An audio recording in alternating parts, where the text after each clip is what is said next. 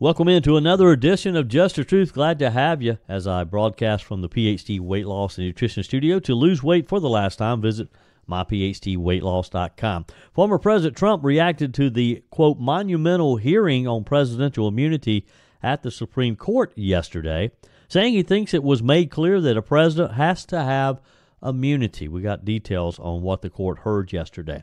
And in, in an opinion piece titled Bidenomics Strikes Again Shocking Numbers of Full Time Jobs Lost Over the Past Five Months. That's a decline of 1.33%, by the way, over a five month period. Excluding job losses related to the COVID 19 lockdowns in 2020, the recent drop in full time employment is the largest five month decline since the Great Recession in 2009 15 years ago. Justin Haskins wrote uh, wrote an opinion piece published yesterday who gets into the details. Uh, you're going to want to hear this. Also, protests at colleges around the country are not showing any signs of going away anytime soon. In fact, it appears they're only growing as the Sabereen News reported that Iran backed Iraqi militias are inciting American students to escalate university protests against Israel. A federal appeals court has upheld a decision to revoke an Alaska man's pilot certificate after he delivered marijuana by plane to retail stores around his state. And we're seeing a massive growth in the South because people are leaving blue states in droves. This may get more difficult to do as those states are looking for ways to keep these residents hostage. 864-477-JOEY, 864-477-5639. Send your comments to the Firmin Ford text line. Leave me a voice message. Send me an email directly to joey at joeyhudson.com. I told you we'd be back. And ye shall know the truth, and the truth shall make you free. It's Joey Hudson. On our guest line this morning, Senator Tim Scott. Thank you for listening to one of the best radio shows.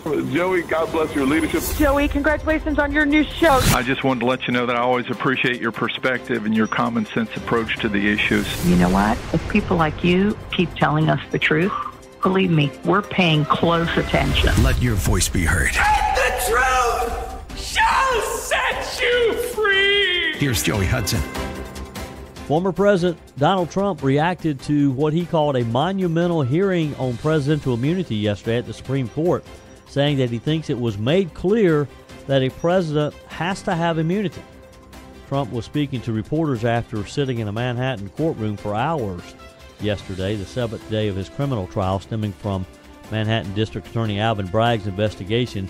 Trump, of course, has pleaded not guilty to all 34 charges of falsifying business records. While Trump sat in court listening to witness testimony, the U.S. Supreme Court was hearing arguments on the issue of presidential immunity and whether he is immune from prosecution in a separate case. Special counsel Jack Smith's case related to the 2020 election interference. Now, Trump had requested to attend the arguments in Washington, D.C., because yesterday was a pretty big day for Donald Trump in the U.S. Supreme Court. But the New York judge, Juan Merchan, rejected his request uh, and has required Donald Trump to be in court for each day of his criminal trial. Trump, speaking to reporters as he left yesterday, says, I was forced to be here, and I'm glad I was because it was a very interesting day in a certain way. Saying that the U.S. Supreme Court had a monumental hearing on immunity, here's President Donald Trump.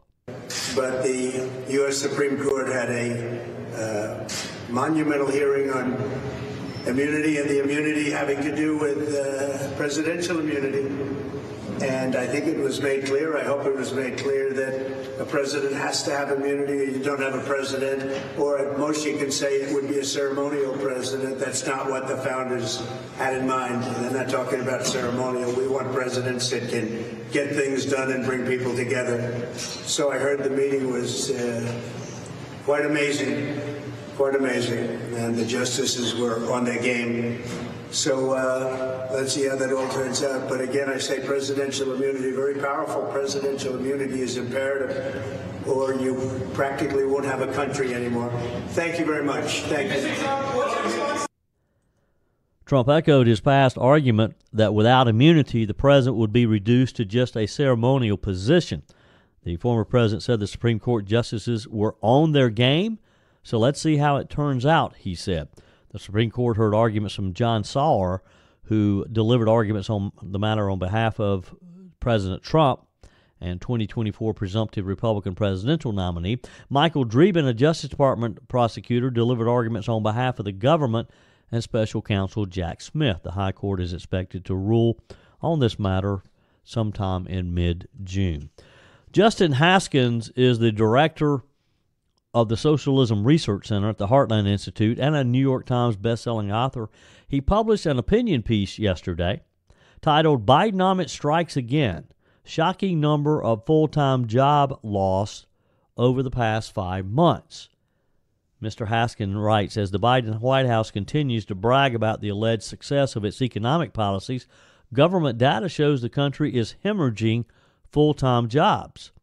According to the U.S. Bureau of Labor Statistics, the number of Americans reporting full time employment dropped by more than 1.7 million jobs from November 2023 to the end of March of this year, the most recent month that data is available right now. Mr. Haskin points out that this is a decline of 1.33% over a five month period. And he goes on to explain that excluding job losses related to the COVID 19 lockdowns in 2020, when we saw massive uh, layoffs because businesses were closing, the recent drop in full time employment, according to Mr. Haskins, is the largest five month decline since the Great Recession in 2009, 15 years ago. And Joe Biden's traveling around the country bragging about job growth. Haskin goes a little deeper. He says, before that, the last time the number of full time jobs declined this much over a similar period was in 1994. Despite these remarkable figures, the Biden administration has continued to boast about its economic policies, he writes. For example, on April the 11th, the White House's official X account claimed under Bidenomics, our economy has created 15 million jobs and unemployment has remained under 4% for the longest stretch in 50 years. The Biden administration has made similar claims for much of the president's time in office. At best, he says they're wildly misleading. Although it's true that total employment has increased, he says, and it's increased dramatically since Biden entered the White House, the vast majority of those jobs were recovered from the coronavirus related government lockdowns. They're not created jobs, they're not new jobs. Compared to employment figures recorded in January 2020, immediately prior to COVID 19, this was just as we were going into this nightmare period. The number of jobs added under Biden's tenure is just 2.98 million real jobs, which is an unimpressive figure compared to many of his predecessors. During Donald Trump's first three years, for example, if you, again, the first three years before you get into COVID, the Trump economy added 6.33 million jobs. That's more than double the number of jobs of true jobs created during Joe Biden's administration. These numbers are made even more remarkable by the fact that, excluding again the 2020 coronavirus lockdown, Biden's government has spent more money in a three year period than any other president, get this now, in history. Let me read that again. Biden's government has spent more money in a three year period than any other president in the history of our country. Two of the four highest federal deficits ever recorded have occurred under Joe Biden. And a third, he writes, the 1.4 trillion deficit in 2009 happened while Biden was serving as Barack Obama's vice president. He goes on, Biden's economic agenda of dramatically increasing the size and power of government programs, raising taxes, and imposing increasingly more regulations on businesses has been a complete and utter failure. Not only has it been killing full time jobs in recent months, it also is the driving factor behind America's lingering inflation problem.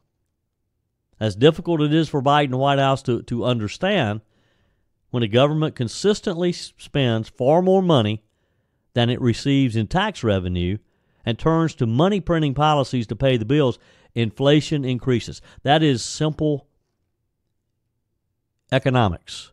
We we learned about that in Economics 101 when we were in school.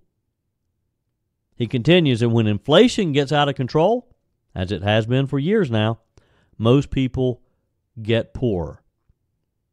Based on the Consumer Price Index's inflation estimates, an American family buying $200 worth of groceries in January of 2021, when Joe Biden first took office, would have to spend $238 today to purchase the same products.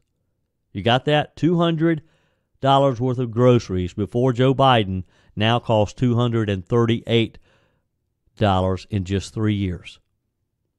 Most Americans can barely afford to pay basic living expenses because we haven't seen our incomes increase that dramatically, have we? The average cost of rent has increased dramatically as well. The average sales price of a home and the cost of mortgages have skyrocketed. The cost of purchasing a new car has increased by thousands of dollars in just a few years. He wraps things up by writing The American people are suffering under the Biden administration's economic agenda. And based on the recent full time jobs data outlined earlier in this article, the situation is not likely to improve while Biden's failing policies remain in place. Amen, brother. He's right. 864 477 Joey, 864 477 5639. Love to get your comments on the Firmin Ford text line. You know, it's, it's the, the, the, the question that Ronald Reagan asked Jimmy Carter Are you better off now than you were four years ago? I'd love to get your comments. Get, send me some examples. Send me some specific examples of things that are costing you more money today than they were three years ago. 864 477 5639. Send them on the Firmin Ford text line. Protests at colleges around the country are not showing any signs of going away. We've talked about this about all week. In fact, it appears that they're only growing uh, as the Sabereen News reported that Iran backed Iraqi militias are inciting American students to escalate university protests against Israel. I've got the details on that. First, let me talk with you about PhD weight loss and nutrition. Do you need to lose some weight? Are you wanting to do it before we head into the summer? Uh, this is what, April the 26th? If you start right now, if you call 864 252 4925, do it today, get your consultation set up. They'll work you in next week. You can get started, and by the beginning of June, you can be talking about losing 10, maybe 20 pounds. As you get into the summer, that excess weight is just going to melt off of you.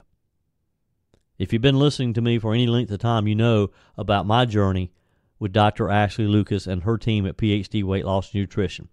Almost four years ago now, I lost 30 pounds pretty quickly, and I've kept it off for those four years. So if you're listening today and you're still on the fence, you just can't quite make that decision, what are you waiting for?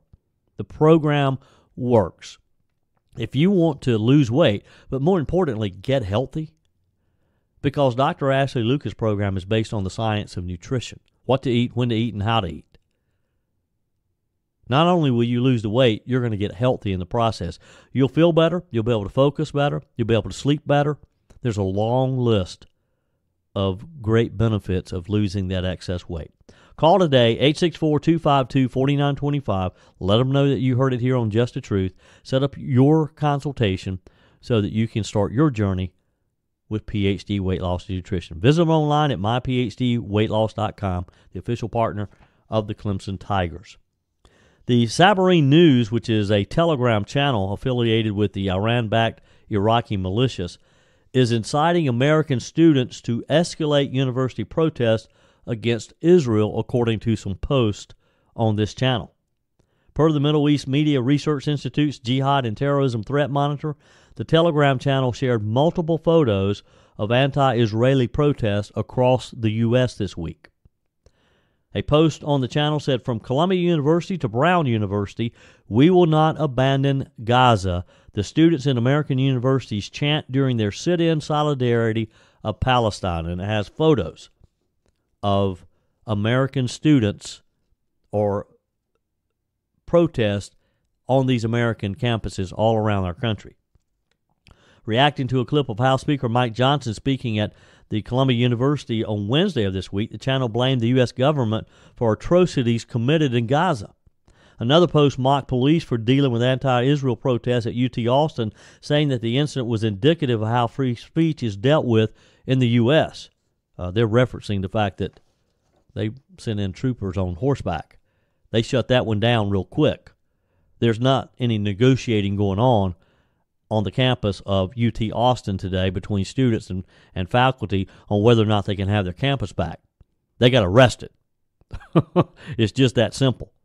Uh, another post included a photo of of, uh, of Hitler laughing in response to a statement from Israeli Prime Minister Benjamin uh, Netanyahu saying that there ought to be wider condemnation of the anti-Israel protests on American universities.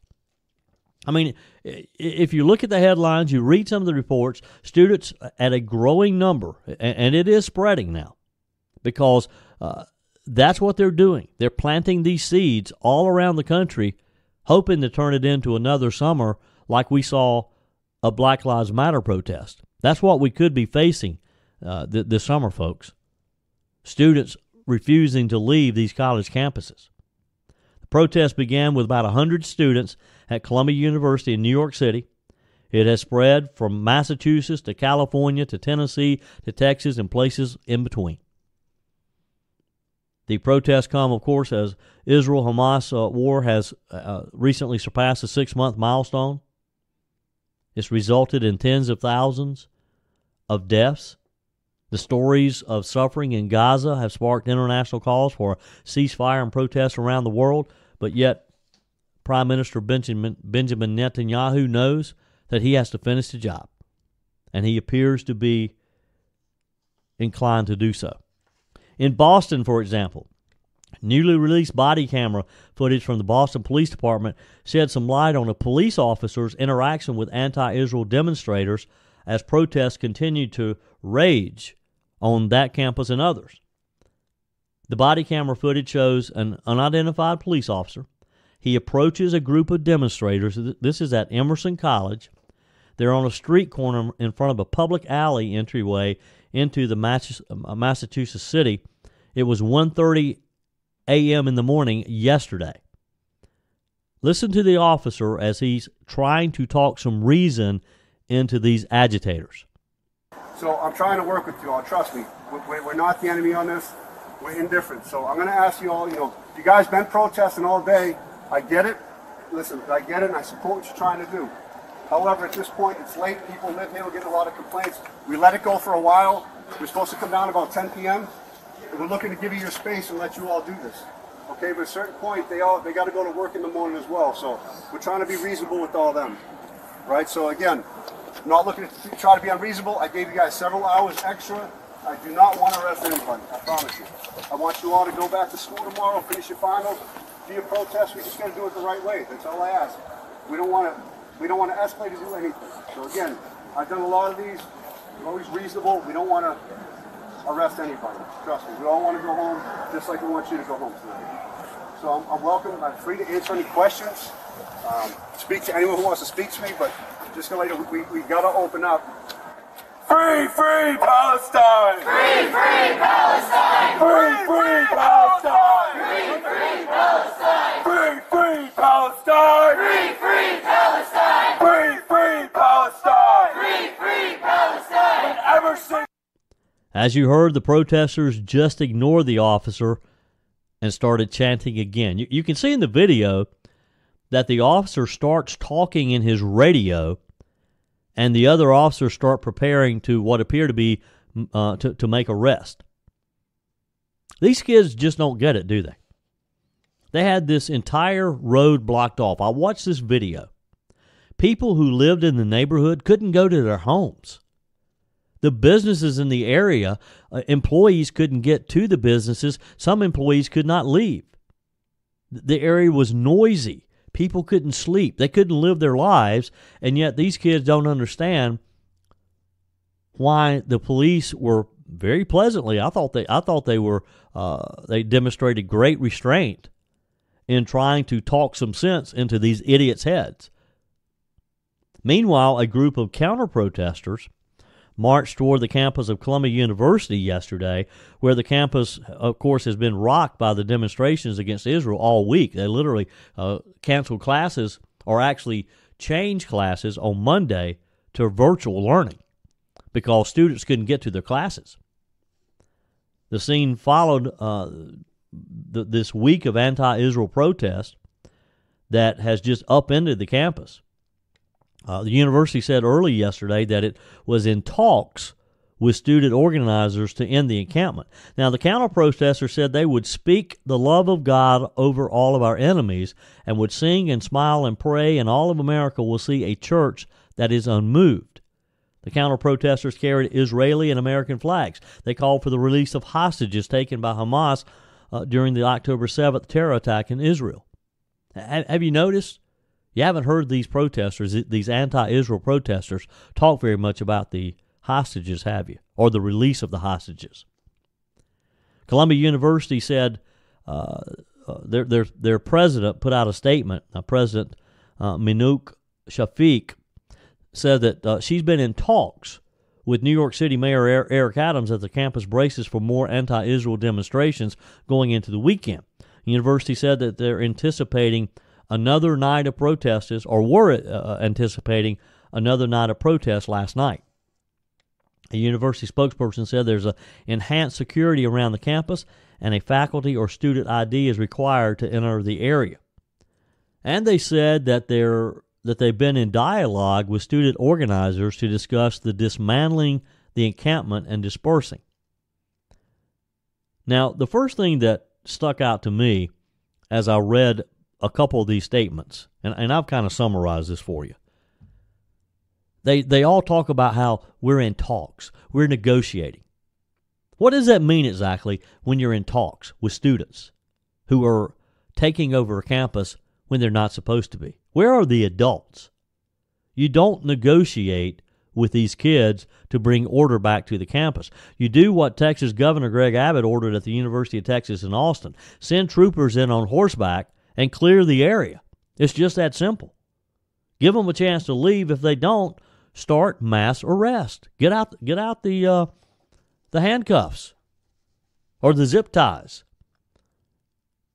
That's how you get these kids attention. And this is the problem. Some areas are backing down, turning over the campus to these young, misguided thugs. A video on X from the Party for Socialism and Liberation shows students at Northeastern University, for example, cheering as police leave what the group described as a Gaza solidarity encampment. Per local reports from media there, an anti Israel encampment formed yesterday on the University Centennial Common. Dozens of people, including students and faculty, faculty should be fired on the spot, formed a ring around the encampment, drawing a response from police officers who very politely asked them to leave. Police later were uh, withdrawn, prompting cheers from the crowd. Uh, a video of the scene shows the crowd shouting, Cops off campus, cops off campus. L- listen to this for a moment.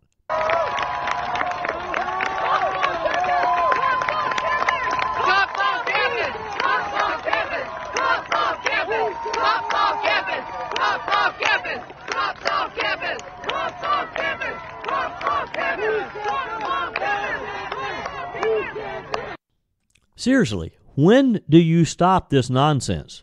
When do you send the troopers in on horseback like they did in Texas to stop this? This is truly letting the inmates run the asylum, is it not? UT Austin on Thursday said that nearly half of those arrested this week in the anti Israel demonstrations there were not affiliated with the university. The university said that the protests organized by the Palestine Solidarity Committee saw significant participation by outside groups present on our campus yesterday. This outside group presence is what we've seen from the affiliated national organizations' efforts to disrupt and create disorder, UT and Austin said in their statement. Roughly half, 26, of the 55 people who violated institutional rules and were ultimately arrested were unaffiliated with the University of Texas. And and that's that's some of the reports we've seen or, or heard is that you've got these uh, these Iranian militia groups trying to encourage people and trying to encourage these students to disrupt daily life on the campus. They're sending people in. And who knows? George Soros may be paying them. The university noted that the more than a dozen demonstrations have taken place since October, largely without incident until this week. UT Austin said, in contrast, this one in particular expressed an intent to disrupt the campus and directed participants to break institutional rule, rules and occupy the university consistent with the national patterns. And guess who is also being hurt with all of these demonstrations? The students. You have a small group of rebel rousers causing other students on campus to have to miss important events as the school year is coming to a close. The University of Southern California has canceled its main stage graduation ceremony as part of new safety measures following this week's rowdy anti Israel demonstrations on campus that saw more than 90 protesters arrested. Think about that. You've, you've spent four years studying to get your degree, and now your commencement ceremony, which was scheduled for May the 10th, has been canceled because of, of a bunch of student protesters on your campus, or in or as in uh, reported in um, University of Texas Austin, half of them weren't even affiliated with the school. 864-477 Joey 864-477-5639 send your text uh, your comments to the Firmin Ford text line. I mean, I, I get back to the question I asked you earlier this week. What is our response? I say that if you're a, a foreign student and you're here on a scholarship and you get caught up in one of these protests and you refuse to, to move on when the police officer asks you to move on, that scholarship should be revoked immediately and you should be sent home, never to return to America again. Period. End of sentence. Am I wrong here? Is that too tough? And uh, am I wrong to question why authorities at Columbia University, for example, feel like they need to negotiate with students to get their campus back? Why should you be negotiating with students to get campus back? Um, I, I, forget which school it was. May, may have been Columbia, but uh, there was uh, uh, videos being passed around where evidently the sprinkler system came on right in the middle as you had these students just lying around on the on on this encampment area. Suddenly the sprinklers came on. Maybe that's what they need to do. Keep turning the sprinklers on. Run them off. We're seeing massive growth in the South because people are leaving blue states in droves. This may get more difficult to do as states are looking for ways to literally keep residents hostage. Stick around as I share what states like California are doing to penalize those who leave. First, let me talk with you about our friends over at Firmin Ford. It's never been more important to support locally run businesses owned by people who live here in our community, and that's what you get when you do business with Firmin Ford. It's not some large corporation who doesn't even know about our community. When you go to Firmin Ford, you're going to see the name Firmin on the sign. Their name is on the sign because their name is on the line. They do business the right way. When you call, when you stop in, when you email, you're going to have access to a member of the Firmin family Jim Firmin, Matthew Firmin. They'll help you navigate the great deals they have on a, a good selection of pre-owned vehicles, pre-owned vehicles that you know have been checked out by Firmin Ford, and they'll be dependable for you. They have a great inventory of new vehicles, and what's even better, when you drive your vehicle off the lot, you know that your money is staying right here in the upstate. It's not being sent back to a corporate headquarters somewhere in another state. It's right here supporting the community we live in.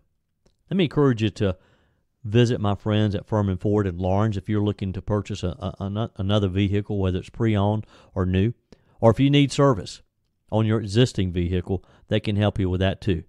They service all makes and models. You do not have had to purchase your vehicle from Firmin Ford either. Firmin Ford, find them online, check out their inventory at firminford.com. Again, that's firminford.com. If you're listening to just the truth today, and you're outside of my home state uh, of South Carolina in the upstate of South Carolina, beware. Have you been hearing me talk about what a great place it is to live here in the Carolinas? Maybe you've thought about moving from one of the tax rich blue states.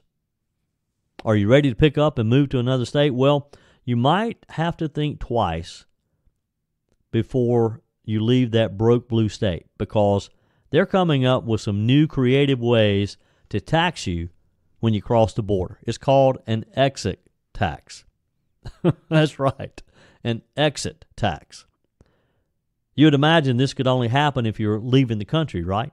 But this tax exists for some individuals and businesses when they try to move out of a state. And the state that's leading the way, surprise, surprise, California. California is already known for having the most significant state income taxes in the country. Has a maximum rate of 13.3%. There's a reason people are fleeing California to move to states including Florida, Nevada, Texas, and even here in, in the Carolinas and Georgia. Uh, some of these states, like Florida and Texas, have no in- state income taxes. Uh, here in the Carolinas, everything is less expensive. California already has cities that include what they call mansion taxes for sales of real estate properties. This is why you've seen so many wealthy people move to Nevada. Business owners often tell uh, tell the the the, uh, the local media that California is one of the most difficult states to do business in right now.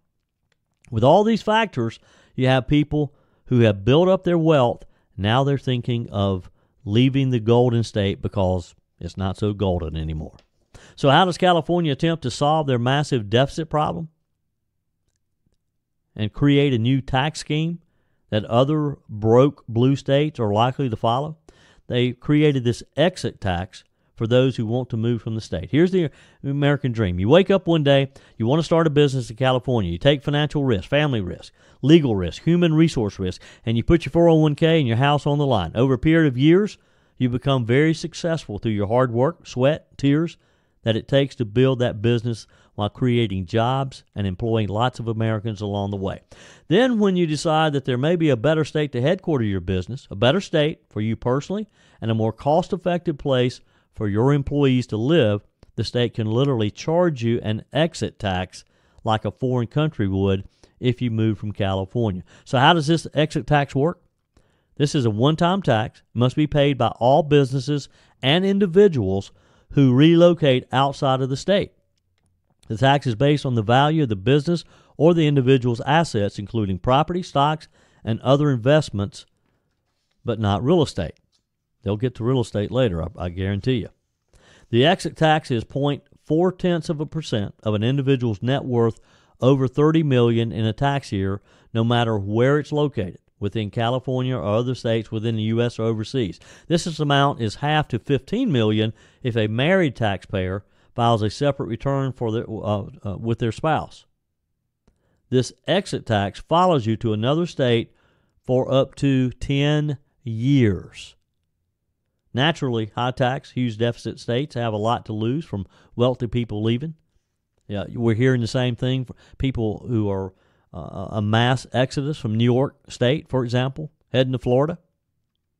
It's difficult, according to authorities, to assess the value of a business as market conditions change all the time, especially in a private market. If, if you have a, um, a, a private business selling to another private business, California is making what is being called an unprecedented policy decision here to essentially tax unrealized capital gains and preventing the real spirit of free market enterprise in order to collect their 13.3%, no matter what it does to the individual or the company involved.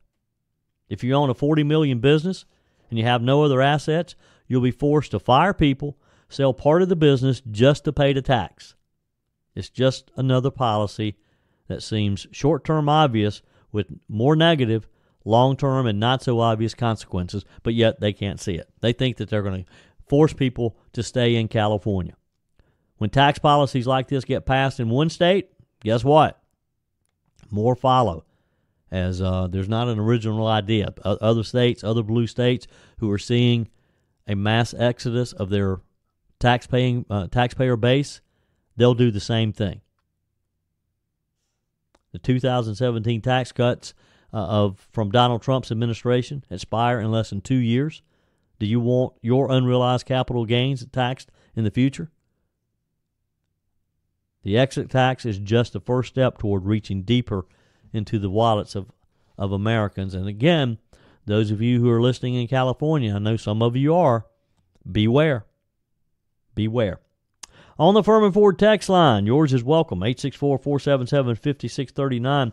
Texter writes, Joey, the only reason the unions are wanting to take over manufacturing is because they support Democrat Party and the influence it has on elections would completely ruin the South. I really hope South Carolina manufacturing employees don't vote in the disastrous union. I hope they don't either.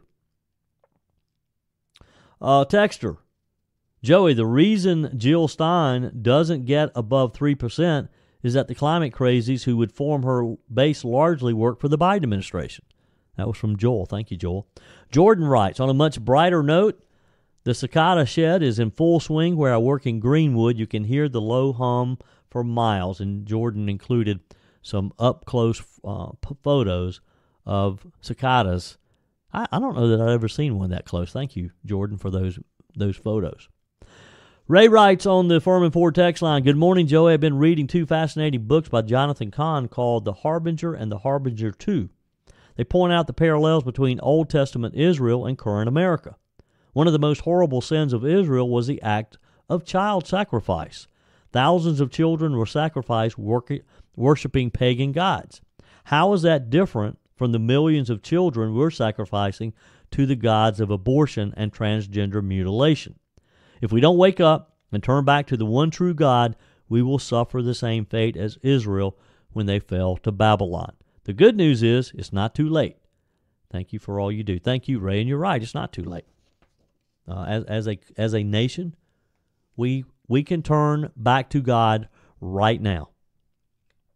Um, Susan writes, How many of the environmentally ill protesters will be traveling to the congressional baseball game in fossil fuel powered vehicles and wearing synthetic clothing and shoes made from petroleum?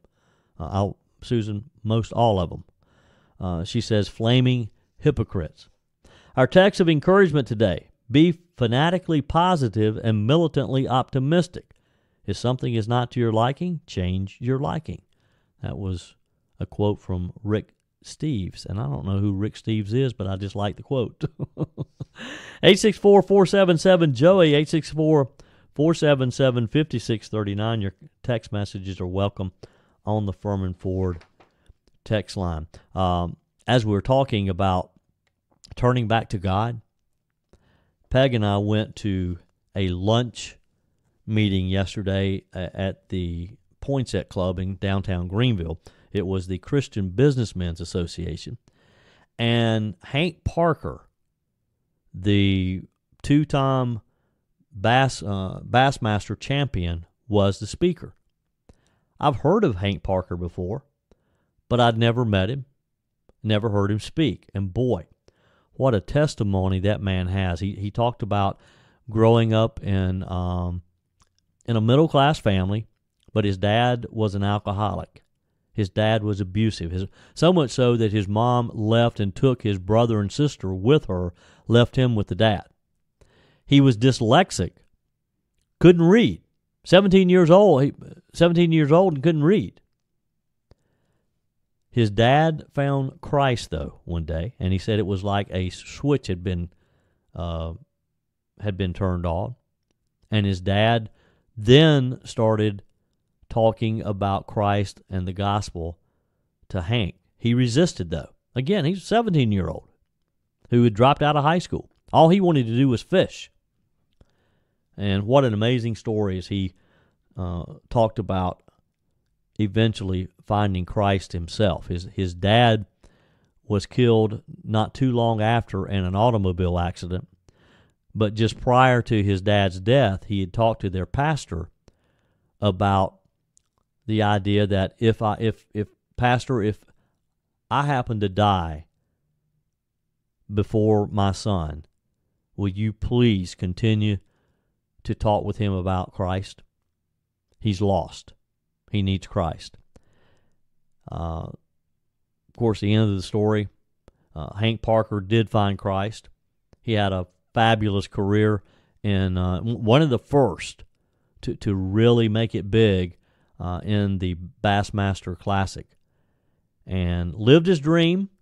Was paid to fish. He he talked about how uh, how life changed so suddenly when people were uh, these these companies were giving him fishing gear, rod rods and reels, and and boats and and trucks to pull those boats, things that he had always wanted but could not afford. And then suddenly he makes it big in bass fishing, and they're literally giving them to him for their for his endorsement. If you ever have a chance to listen to Hank Parker, uh, do it. He's very inspiring. The Vermont House has approved legislation requiring firearms that are privately made from kits or by 3D printers to carry serial numbers in an effort to crack down on what is called ghost guns. Heavy penalties will be imposed if the law is violated. Details in just a moment. Uh, portions of today's show made possible by Discounted Appliance Warehouse. Jeff, Johnny, Kyle, the whole team at Discounted Appliance Warehouse, they're literally waiting for you to help you with your next appliance. If you're tired of buying appliances from inexperienced sales staff, head to Pickens right now. Whether you're replacing a broken appliance or maybe you're just upgrading, maybe you're remodeling the kitchen and you need all new appliances, the team at Discounted Appliance Warehouse, they have the knowledge to give you the confidence that you're going to make the right deal. Appliances are expensive. You can't afford to to not buy the right appliance. When you shop with my friends at Discounted Appliance Warehouse, there's never any shipping or supply issues. They have over 1,500 appliances in stock. Quite often, you can buy it today and use it today. Let me encourage you to head over to Pickens if you need a new appliance, whether it's a refrigerator, a stove, dishwasher, microwave, washer, dryer. They uh, they are proud to offer Speed Queen, the only washer and dryers with manufacturer's warranties that covers parts and labor for up to seven years. Check them out in Pickens or online at dawpickens.com, dawpickens.com. Federal appeals court has upheld a decision to revoke an Alaska man's pilot certificate after he delivered marijuana by plane to retail stores around the state. The man said that Congress couldn't regulate commerce happening within the state, where, by the way, marijuana is legal. Federal Aviation Administration disagreed. Meanwhile, speaking of pot, Chris Goldstein was quoted in the New Jersey Advanced Media saying, Hopefully, they'll have a garden at the State House and the White House by the end of the year. Now, Mr. Goldstein is an organizer with a legal marijuana group called NORML, who helped plant marijuana plants at the New Jersey State Capitol this week. The group is protesting New Jersey's prohibition on homegrown pot. That's what we need is uh, a garden full of pot at the White House. The Arkansas Times reported that two million one hundred thirteen thousand one hundred ninety-eight dollars was the amount people in Arkansas spent to purchase 630 pounds of marijuana products on April the 20th, which was the unofficial pot holiday. That's almost triple the daily average of 780,000 for dispensary sales. I, I mean, I still find it hard to talk about the fact that we have states that pot is legal. When I was in New York a few weeks back, walking down the street, you could smell it on every corner, just like people smoking cigarettes. And as we were talking about being wasted, a a Belgian man charged with drunk driving has had the charges dismissed after he proved that he has auto brewery syndrome. You ever heard of this? It's a rare condition that causes carbohydrates in his stomach to ferment into alcohol, which results in signs of t- intoxication. According to medical professionals, there's only about 20 people who've ever been diagnosed with ABS. This man happened to be pulled over for uh, what police officers thought was drunk driving.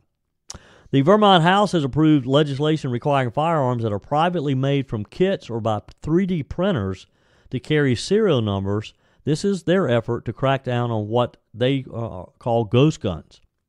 Those who use a gun without a serial number in the commission of a violent crime would face up to five years in prison and an additional fine.